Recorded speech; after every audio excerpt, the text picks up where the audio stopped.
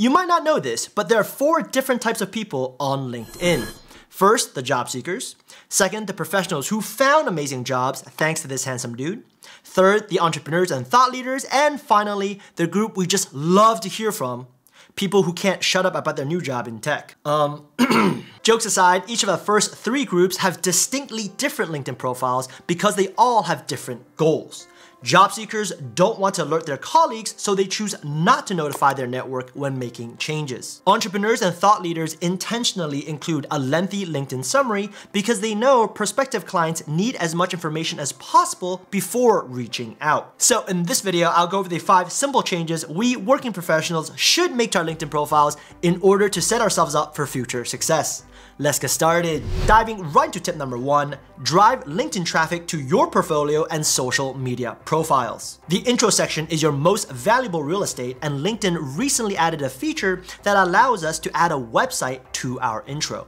For example, I've added my No BS productivity newsletter here for easier signups. This is super useful if you have a side business, a website, or portfolio you want to show off. Case in point, Christine, aka Chumbuns, Chloe, and Kevin are creators I've long admired and they can probably get even more free traffic if they use this feature. Jeff, this video is for working professionals, not part-time creators. Fair enough, if I didn't have a website or YouTube channel, I would sign up for a free Linktree account, link to my Twitter, my Instagram, while starting to build out an online presence. For example, I found the best way to really understand the concepts I've learned at work is to summarize using my own words in an external blog post.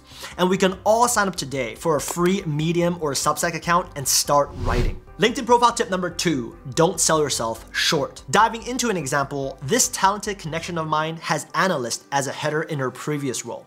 But if we look closer, she was promoted before leaving. So the title of senior analyst is a more accurate representation of her skill sets when future recruiters come across her profile. Another awesome connection of mine recently took on an additional role within her team. While you want to showcase all your responsibilities at work, this type of formatting might confuse future hiring managers and headhunters who are looking to fill a specific role. Instead, keep your core job title, the role you want to be most known for, and in the description, add the additional responsibilities, the 20% projects, to illustrate just how proactive you are. Pro tip, as someone who didn't have a portfolio, I used to think I had nothing valuable to share in the LinkedIn featured section. But don't sell yourself short. You might not have written a LinkedIn post, but have you ever been tagged in one as a thank you? You can copy the link of the post you're tagged in and choose to add a link in your feature section and paste that link. Or if that's not applicable, I used to just feature slide decks and spreadsheets I created for work by selecting add media. Profile tip number three for working professionals. Two birds, one stone LinkedIn edition. This is my most recent performance review write-up I submitted to my manager.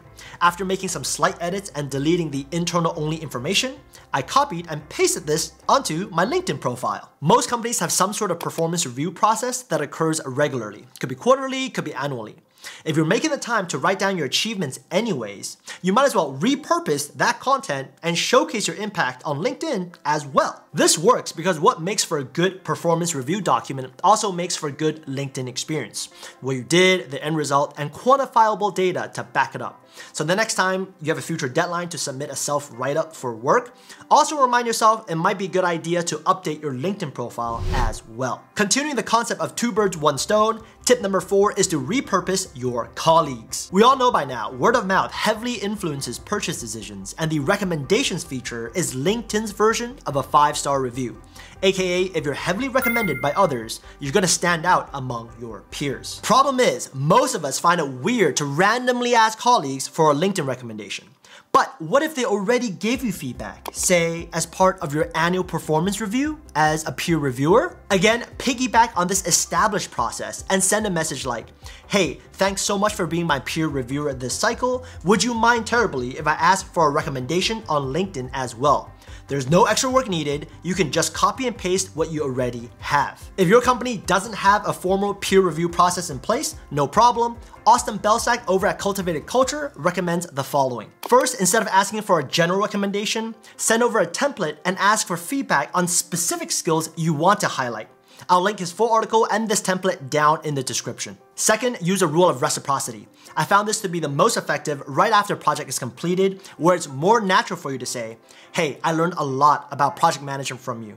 More than happy to write you a recommendation on LinkedIn. Is it cool if you do the same for me? And just in case this wasn't clear, you can go to any of your LinkedIn's connections profiles, click on more, and request a recommendation to kick off the process. LinkedIn profile tip number five, die a hero or live long enough to become the villain. I get it, some of the posts you see on LinkedIn are pretty cringe, but I'm sure you've come across a few you found to be genuinely helpful or inspirational. The fact is, users who engage on LinkedIn get a lot more views because number one, only 1.2% of all LinkedIn users are actively engaging in some way. And number two, you're more likely to catch attention from employers by showing up as a comment or post in their feed. Am I telling you to create a post right now? No.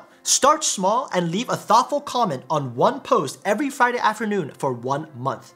Luckily for us, most users leave low effort comments like, hey, thanks for sharing, and great tips. All we have to do is to take five minutes and come up with a thoughtful comment that adds to the discussion. And this could be as simple as sharing a personal experience, which we all have, that's related to the original post. Rinse and repeat, your comments get more likes, you decide to comment more frequently, and soon you're confident enough to publish your own post summarizing a key learning you had at work.